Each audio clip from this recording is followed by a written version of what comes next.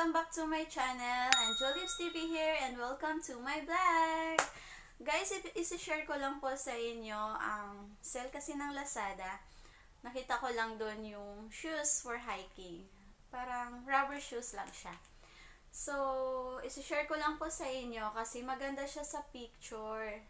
Try natin kung maganda din ba sa personal. Parang ano lang, parang kanta lang, no?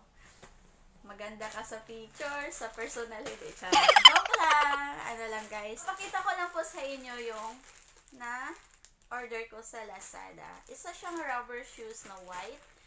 Maganda kasi siya sa hiking, di ba? Um, ako naman kasi hindi ako mahilig sa sa ano, sa mga branded na ay, ano, ano ba tawag doon? hindi ako mapili, hindi ako mapili sa sa brand.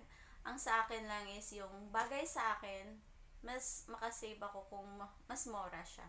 Kasi ano, um, as long as may magagamit ako, ganun lang ako guys. As long as may magagamit ako, meron ako, merong bagay sa akin, ayun, in-order ko talaga siya. For only 180 pesos guys, ayun, sa Lazada. Ayun. Actually, na-open na to ni Ate Elsie. Oh no! sa inyo kung anong itsura niya sa personal. Ano ba itsura niya sa personal? Ano ba? Ito na. I-unbox ko na. Ayun siya, guys. Boom! At may lastik ko. Wait lang. Tanggalin ko lang siya sa lastik ko. Ayun. Hmm. Tingnan natin kung maganda. Ay, ang ganda. Tingnan nyo, guys. Ang ganda, guys.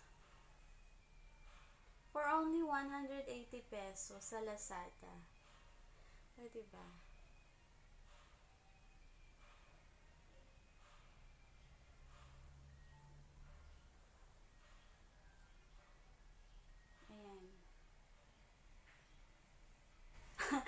Guys, ang laki talaga ng paa ko. Ayan. Ang cute. Guys, hindi ko na, hindi ko to ini-expect kasi sabi nga nila, mura lang. So, sabi ko, sige okay lang as long as na ano siya, white tapos gusto ko kasi white shoes talaga. Gusto ko talaga guys, uh, white or black lang na shoes kasi bagay siya any color kung kahit anong susuotin mo, ba? So, ito guys, uh, ilalagay ko na yung liston dito. Ching, ching, ching. Ayan. Hindi ko ini-expect guys na ang ganda niya. Ayan o. Oh. Kasi 180 pesos, sabi ko nga, pang hiking lang. Or yung ano lang, kasi gusto ko nga magha-hike minsan. So, ayun guys. Ayan. Ayan guys hindi ko na-expect na maganda siya sa personal. Ayun ha. Hindi lahat ng nasa picture lang, ano, fake ha.